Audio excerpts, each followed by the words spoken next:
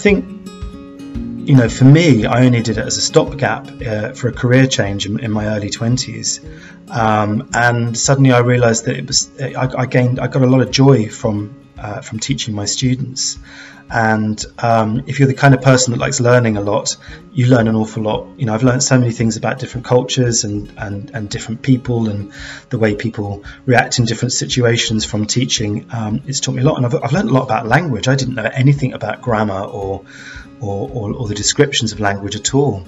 Uh, in the past, but uh, now uh, you know I've learned an awful lot having to teach it. So if you like learning, I think it's it's a really interesting job. Um, you know, it can get very samey if you just do the same things over and over again. But if you push yourself to develop and change and try new things, and if you really listen to your learners and want to respond to them, uh, then I think that really helps you develop as a teacher, and the job the job stays fresh in that way. One of the other benefits about working in English language teaching is uh, obviously you can work on your own and you, you, you can you can be freelance. Uh, but uh, I, I, personally really like working in a staff room with lots of other teachers and sharing ideas. I think that's the thing that's given me uh, the most development. It can be um, a starting point as well to move on and do other things or, or, to go back.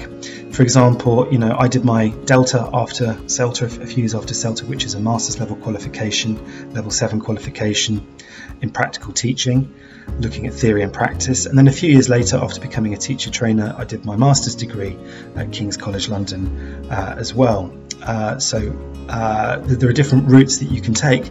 We also get people who've done PhDs in, in, in related subjects or MAs in related subjects, and they've decided to come back and do the CELTA because they want the practical component. They want to see how the theory fits into practice.